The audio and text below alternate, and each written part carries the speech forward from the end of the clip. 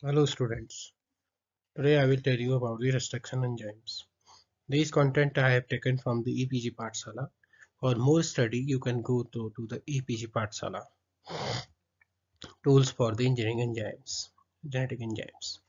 Here the restriction enzymes. Now the question is what is restriction enzymes? Restriction enzymes are those enzymes which cuts the DNA at specific sites. At first these restriction enzymes are discovered by the by Werner Arber, Hamilton Smith, and Daniel Nathans. The term restriction was coined by Lederberg and Meselson.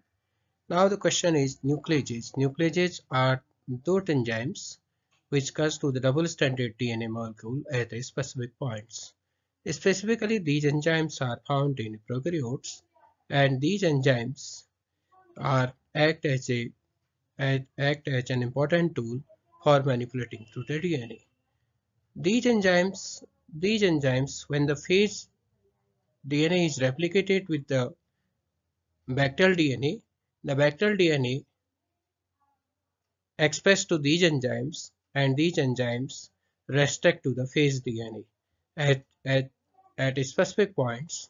That's why this phage DNA, this, these enzymes act as a uh, provides an immunity to the bacteria from the viruses. The host DNA is protected by uh, how the question is how the host DNA is protected from to these enzymes.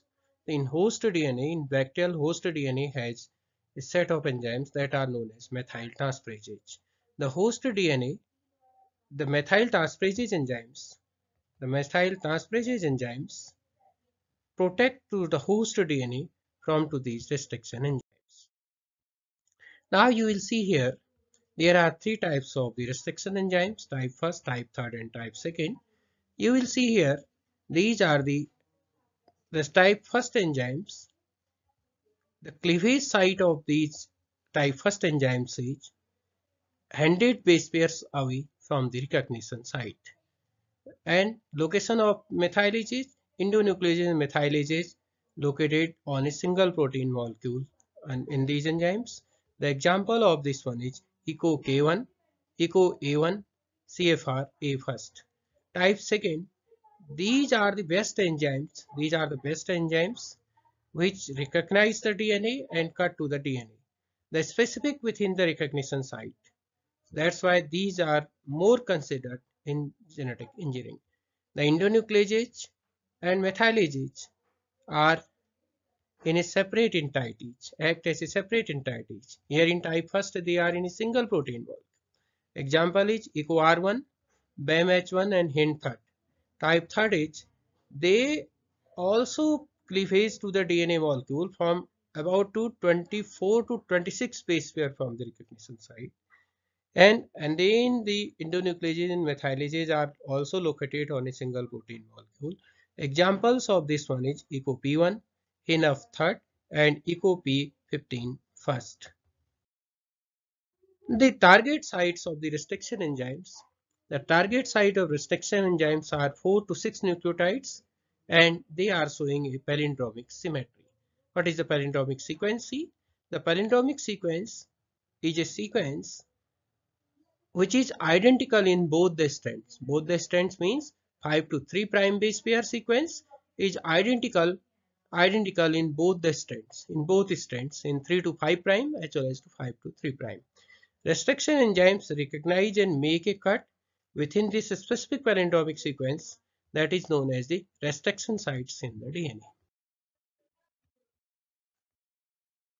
There are some other categorizations that the iso schizomers. These are the restriction enzymes which are isolated from the different organism but their recognition sequence is identical. Their what is that? Their recognition sequence is identical but their origin is different.